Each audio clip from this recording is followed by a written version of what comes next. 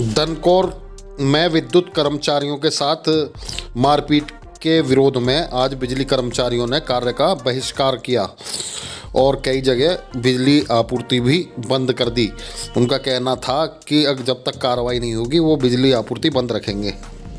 हम हैं मौजूद धनकौर के बिजली घर पर यहाँ बताया जा रहा है कि कुछ लोगों ने बिजली कर्मचारियों के साथ अभद्रता की है। हमारे साथ मौजूद है नीरज कुमार जी जो जेई हैं। क्या मामला है? किस लिए आप लोग यहाँ इकट्ठे हुए हैं? मामला ये है कि भट्टा बिजली घर पर रात तेज बारिश होने के कारण फीडर बंद हो गए थे और ब्रेकडाउन में आ गए थे।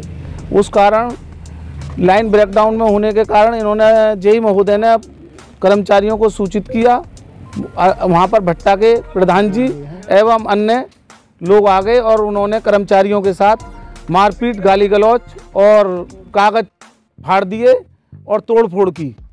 इस ही से सभी संविदा कर्मी ने सप्लाई बंद कर दी है और सभी काम छोड़कर चले गए हैं। अच्छा ये बिजली आपूर्ति जो है ये कहाँ कहाँ की बंद है?